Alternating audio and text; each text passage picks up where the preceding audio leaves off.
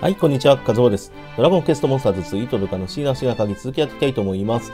今現在ですね、あの自分のパーティーと言いますと、あの、このね、1枠4体なんですけど、まあ今回ね、アスラゾーマとかね、多分行くことになるんじゃないかなと思うんですけど、まあ、とりあえずね、あの、モントナーは、あの、自分最初からね、モントナー入れてね、最終的までね、クリアしたいっていうものありまして、まあ、モントナーは変えずにやっててね、なんだかんだ使ってるうちにね、このラプソーンでもそうですし、まあ、配合を重ねてね、1枠で今のところ一番ね、まあ最後なのがこれなので、まあこれ以上もありますけどね。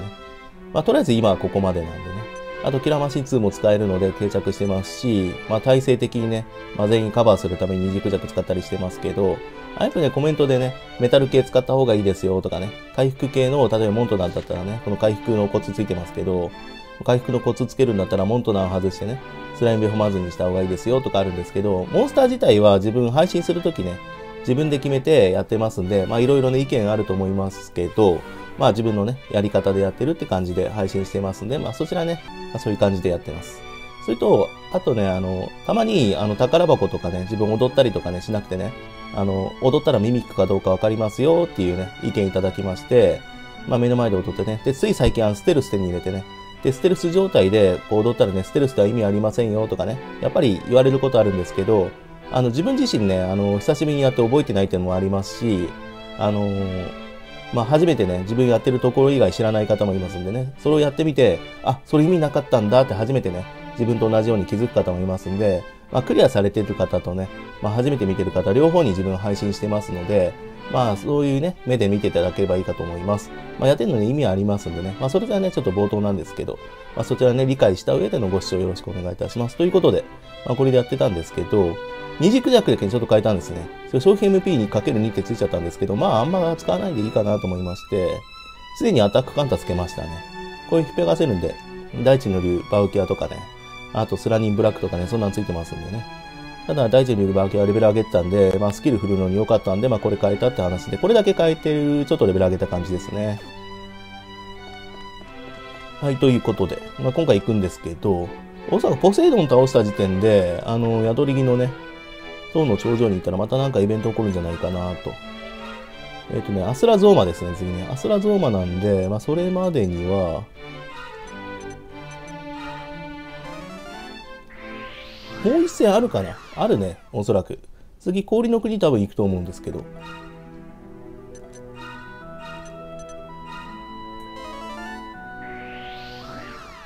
メタルエリア1回だけ行ってね、あと、まあ、鍵の地図とか入ってね、そんぐらいでレベル上げて、まあ、40くらいまで上がりますんで、まあ、それしかやってないですね、前回からね。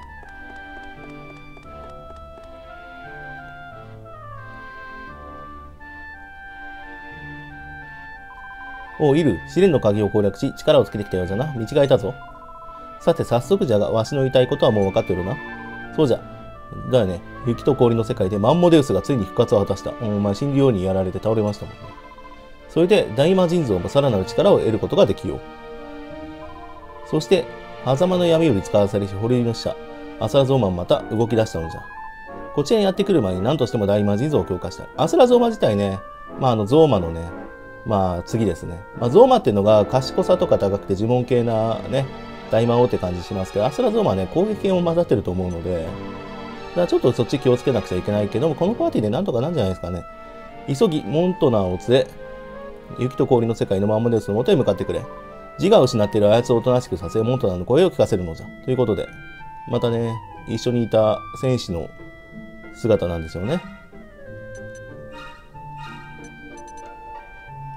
なんだかんだレベル40までであれから20分ぐらいしかやってないんですよね。あ、でも上がりますんでね、普通にレベルは。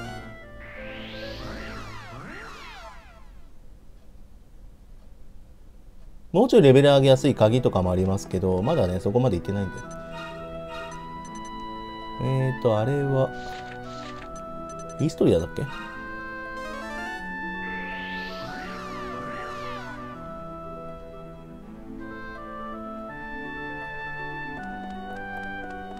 あいたいた。マンモデウスこのお腹の中ね言ってましたもんね。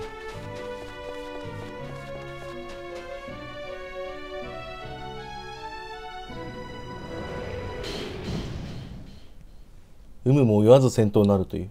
まあこれはねまあそんな大して多分強くないと思うんですけど、まあバイションかけておいてね、消費2倍になってますけど、いいです、別に。MP もそこらありますしね。攻撃でいけんじゃないか、これ。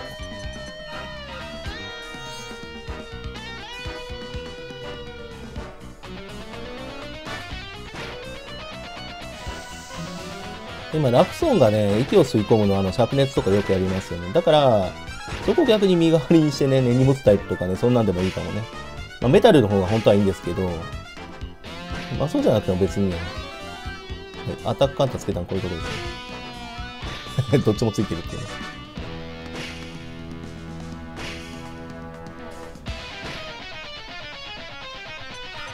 だからここに、ここにもね、アタカンつけてね。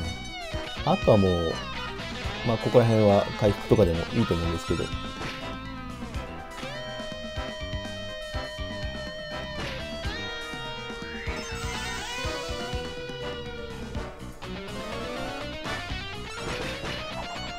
ね、そんな大して強くないんでね。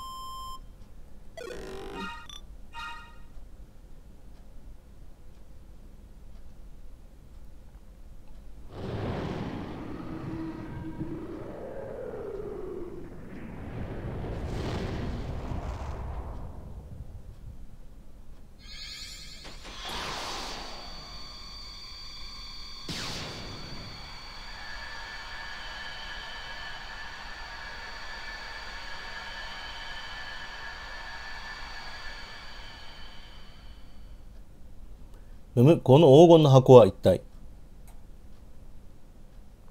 おお、そうじゃ。わしらはこの黄金の箱に狭間の闇を封印したんじゃった。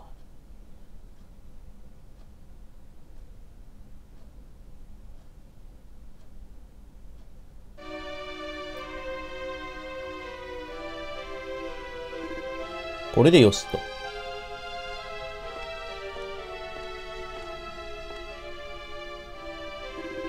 この紋章は光を奪う者が封じられた証。決して開けてはならぬと後世に伝えましょう。しかしさすがはミラクレア様。狭間の闇を封印する術をお持ちとは。この老いぼれ、無駄に年を取ってきたことを痛感いたしますぞ。ほほほ。ふう、謙遜するな、ダルジャン。わし一人では封印すら叶わなかった。できることなら、狭間の闇の王を亡き者にしてやりたかったかな。ふむ、確かにあやつが最後に放った言葉は気になりますな。長い戦いになりそうじゃ。ミラクレア様今、なんと。いや、なんでもない。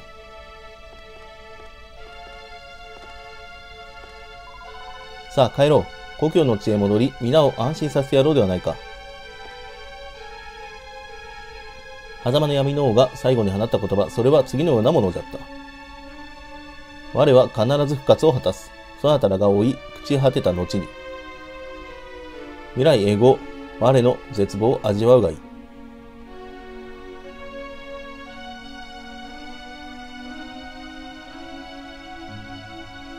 まあ、今までのね、鍵の名前がね、このね、まあ、ミラクリア様のお供のね、名前でしたね。アモンとかね。狭間の闇の王にとって封印されることなぞ、痛くも痒くもなかったんじゃ。あやつは、わしら勇士たちがこの世を去るのを待ち、復活すると宣言した。世界が再び闇に包まれることは、その時から運命づけられていたんだよ。してお主がわしを助けてくれた奇跡のマスターじゃな、礼を言うぞ。ふむ、なりは小さいがいい目をしておる。わしは魔法使いのダルジャンじゃ。かつてはイーストリアで名を馳せてな、あの古城の友は足が作ったんじゃぞ。おっと、かつての栄光を語りたがるのは、年寄りの悪い癖じゃな。さあ、これをやろう。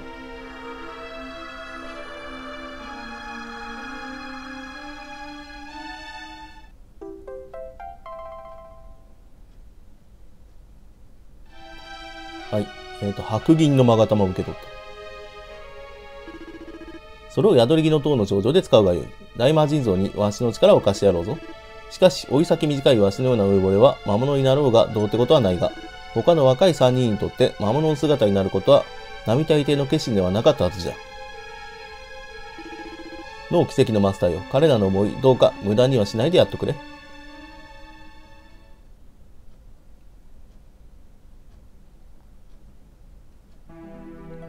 はい、ということでね、行くんですけど、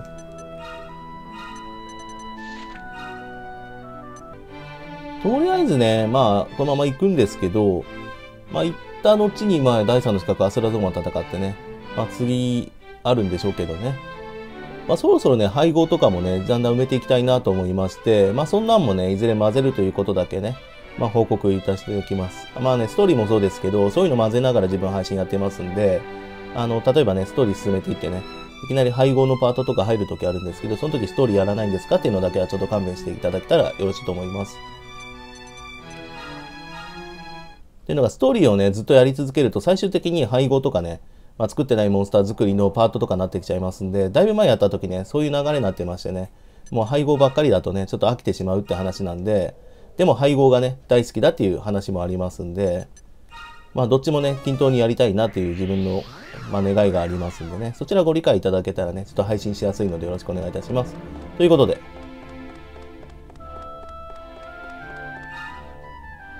まあ、とりあえずは大丈夫ですね。そういう品もちゃんとやってますもんね。まあ、ゼノ指導じゃなくてもいいんだけどね。まあ、スタンバイもいいものに入れといた方がいいんでしょうけど、まあ、勝てるでしょう。お、いるよ。マンモデウスより白銀の勾玉を授かってきたようだな。動き始めたアスラゾーマは間もなくこちらに到着するじゃろう。早速、白銀の勾玉を使い、ダメハジンゾウで奴を迎え撃とうぞ。はい、ということで、行きましょう。よくぞ言ったいるよ。さあ、わしの頭に乗るがよい。だメタル系使った方がいいって話もありますけど、メタル系のね、身代わりとかね、勝ち抜きバトルとかでね、まあ、ずっと続くようなね、バトルとかでやろうかなとは思っているので、やらなくはないんでね。ただストーリーで使うと簡単になってしまって、まあ本当に、あの、それもコメントいただいたんですけど、配信上ね、あんまいいことじゃないので、まあ配信的な問題ですね。自分個人でやってやってるんだったらいいですけどね。やっぱ配信なんで、まあそれ使わないで攻略した方がやっぱギリギリの戦いできて面白いんじゃないかなとかやっぱ自分なりにね、すごい考えながらの、まあ毎回配信してますんでね。お、鎧できた。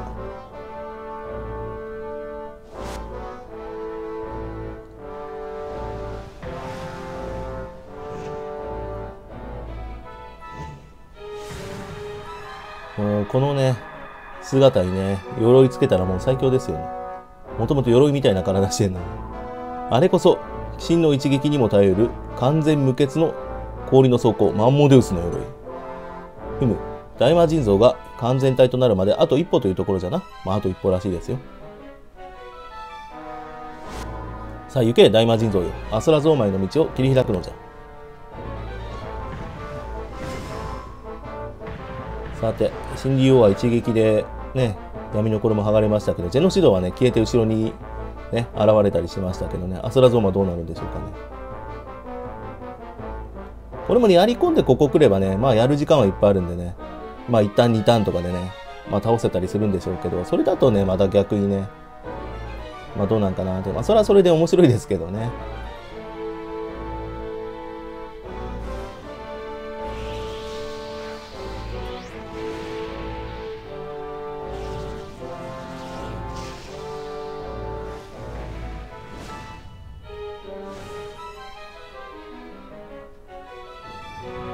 大体70くらいなんかなーって気もしますけど。お、ちょっとは外やっぱこういうのね。勝負は次の一瞬で決まる。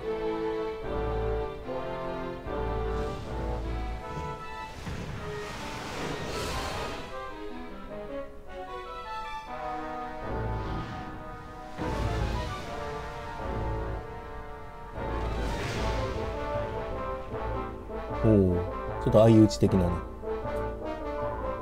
間一髪だったな。ともかくこれで奴に攻撃が通るはず。さあ、いる。アスラゾーマにそなたの全てをぶつけてくるのじゃ。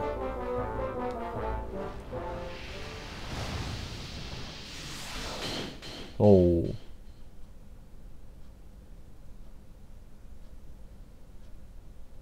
おそらくね、まあ、攻撃とかも来るので、まあ、アタカンつけたってそういうことなんですけど、アタカンと、うーんとね、アバイシオンもそうだし、スキルティもつけといた方がいいかな。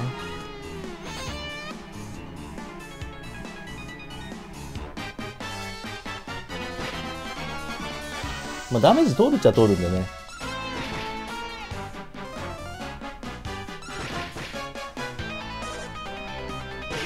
お、株と終わり。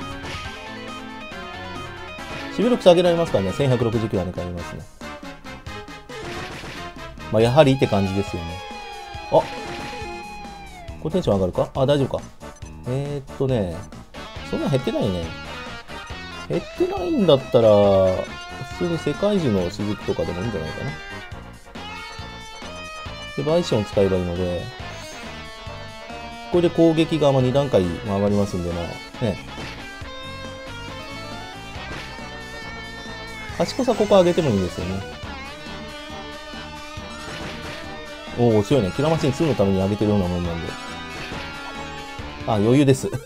うん、まあ余裕ですね。だからメタル系とかにするともっと簡単ってことですね。だから身代わりで全部攻撃効かなくなっちゃうんで、もう本当に無敵みたいな状態ですよね。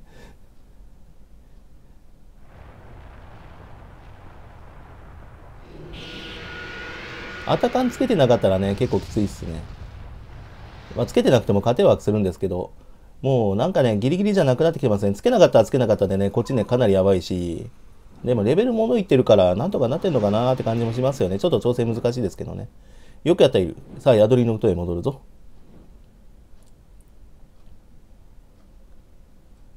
やっぱり配信するとね、調整難しいですよね。どっちかにやっぱ偏りますよね。これでアスラゾーマの脅威は去った。ジャガ。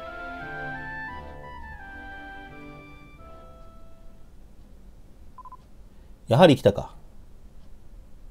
もう、こんだけね、モンスターズやり込んでるまま負けることはないんですけどね。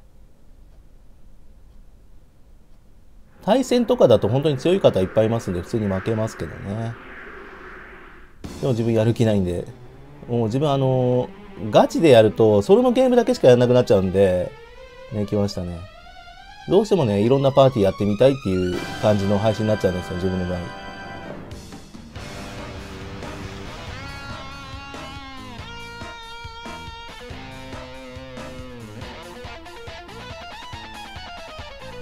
大魔神像の慣れの果てみたいな感じに来ましたけどね。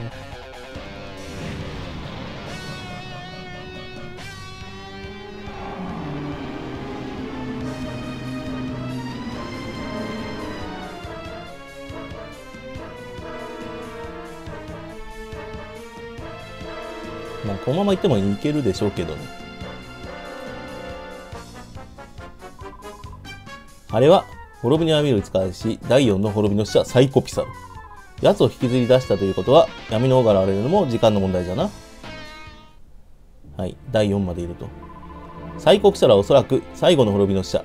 無論その強さは今までのものの比ではない。まあずっとこんなこと言ってますけどね。あんま大して変わんないですよね。じゃがサイコピサルを取ってすぐには動けぬ。こちらに来るまでまだ時間があろう。そなたは奴との決戦に備え、この鍵を軽く攻略できるほどに強くなっていってくれ。だね、いろいろね、パーティー変えながらやるのもいいですけどね。お、獣王の、えー、試練の鍵。あ、獣王ってことはあの獣か。まあ、それでまたアスラゾーマに行くんですけどね。それからもう一つ、例によって鍵、錬金用の素材の鍵もやろう。これはちょっと大事に取っとこう。後でね。おいいね、プラチナの鍵。これは、本当金の鍵は使っちゃっていいかな。よいか、今渡した二つの鍵でしっかり力をつけてくるんだぞ。わしはその間、大魔神像を完全体にする最後の仕上げに取り掛かるとしよう。獣王の試練の鍵の中にいる魔物を倒すことができたら、天空の世界へ向かうと。その先のことは、奮闘村に眠るウゴールに伝えておくでな、忘れてないぞ。天空なんですけど、天空にもね、まだね、倒してないね、まあ、クリア用に出てくるようなモンスターとかいますんでね。まあ、それも後でやりますけど、まあ、まだね、いっぱい遊べる要素ありますんで、いきなりそこ行ってもいいですけどね。まあ、新竜王はね、二軸弱だけ相性良かったんで、あの、オルゴデミーラとか買いましたけど、その後はね、ブレス系のあの休み効果がね、ちょっと邪魔くさかったんで、あれがないんで、攻撃さえなんとかしのいでたりね、普通の攻撃だったらカブト割りとかもそうですし、アタックカンタついてれば跳ね返るんで、で、あとキラーマシン2がね、恐ろしいほどの攻撃力になってますんで、まあ余裕ですね、これね。キラーマシン2強いとそういうことですよね。これ以上のマシンとかもいるんですけど、どうしようかな。それ作ってやってもいいしね。だから次配合でもいいかな。配合やってもいいし、最高ピサロまでやっちゃってもいいし、そうすると最高ピサロやった時にまた同じ説明をしなくちゃいけないので、まあ次回ね、配合しようかなっていうこともね、あるかもしれないんです。まあそれだけね、まあやってみてね、どうしようかちょっと考えてみようと思います。とりあえずね、うーん、まあ今のパーティーでもいいしな、ちょっとね、いろいろ考えてみますね。とりあえず次やるときはここアスラゾーマになってると思いますので、まあ作り方また紹介しながらやっていきますんでね。まあそれも、ね、まあ作り方は、まあゾーマとね、あの、マンモデウスなんでしょうけどね、マンモデウスの作り方が、そのまたね、重要の鍵のね、モンスターと何かとかなんでね、まあ分かる方は分かると思いますんでね。まあそこも混ぜながらやっていった後に行き詰まるとこがありますので、まあそこでまた配合パートでもいいし、まあちょっと物はやりようなんでね。とりあえず、今回アスラゾーンを倒しました。まあそうだね、マンモデウスも倒して、ダルジャンの過去が分かってね、まあマンモデウスになりまして、サイコピサラ出てきまして、次どうなるかって話なので、そうだね。うん、まあモンスターも埋めていかなくちゃないので、まだ埋めてない部分いっぱいあるんですよ。だから卵とかもそうですし、まあその後ね、あの鍵で金策できるようになったら、あの虹のね、卵とかね、そこから生まれるモンスターとかもいますんでね、なるべく自分でね、自力で作っていきたいと思いますんで、まあ自力でね、集めて、まあ攻略っていうのがね、だんだんやってきたところで、まあだんだん不定期になってくると思いますけど、今後もね、まあ、配信続けていきたいと思ってますので、よろしくお願いいたします。よろしければグッドボタン、チャンネル登録、ツイッターフォローなんかしていただけるとすごく嬉しいです。ご視聴いただきありがとうございます。次の動画でお会いしましょう。